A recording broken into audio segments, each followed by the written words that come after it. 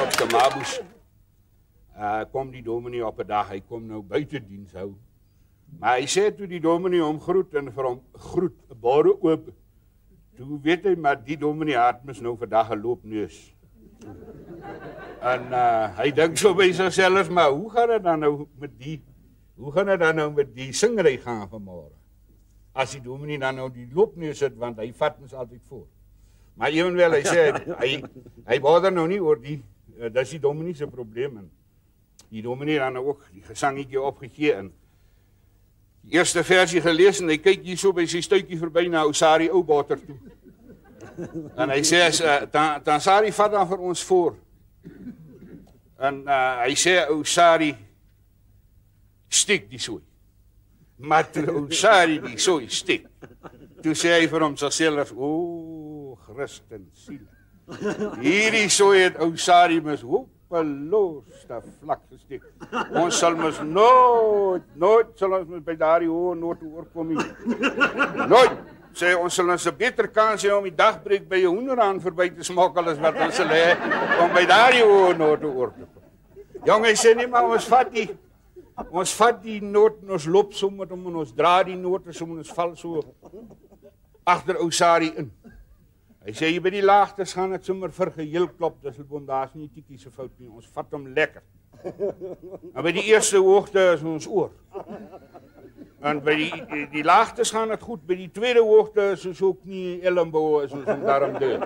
Hy hef aan let. Hy is daar, o, gat hy hef aan, hy sê toe ons hier by die derde hoogte kom. Laat ons hom vat, laat ons met die nood klim hier teen die hoogte op. Klim ons moet hom en so klim ons moet hom toe ons op die kruin van die nood kom. Hy sê kan jy vir my glo meester? Toe sit nog net ou Sari ou Bater se stemmetjie wat bo op die nood se hoogte sit 'n bewe soos 'n soos 'n maar moflam wat op 'n oostewind môre op 'n sandduin staan bly. En die singery loop daar dood. Die singery loop net daar dood en die dominee die staan so half Hy so half verward soos 'n vlooi in 'n verweelbroek. Hy weet nie waar gevlieg hy nou moet op nie.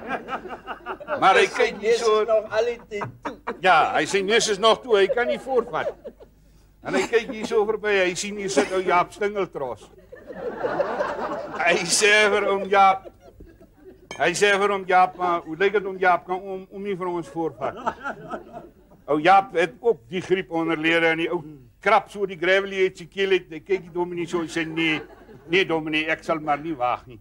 En dominee val sommer hier by ou Abraham Boelgol. Hy sê vir ou Abraham, om Abraham. Hy sê om Abraham sal hom nie van ons voorvat nie. Nou Abraham steek die sooi. Hy sê maar Boeta, luister nou mooi. Toe ou Abraham daardie sooi steek. Toe sê ek, o, oh, verdamp hierdie sooi. Dat hy mos hopeloos te vlak gesteek. Ons sal mos nooit by die laa note verbykom. Hy sê maar wat? Ons sak hier agter ou Abraham in.